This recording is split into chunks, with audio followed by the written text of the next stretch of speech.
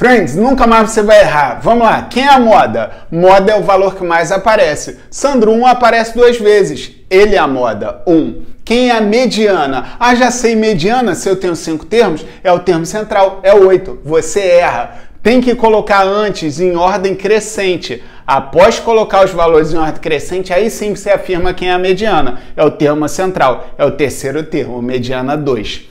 Curioso, e a média? Média soma todos os valores e divide pela quantidade de valores. Quando eu somo, ó, deu 10 aqui, aqui deu 15, ficou 15 dividido por 5 valores. E aí dá 3, essa é a média. Aprendeu?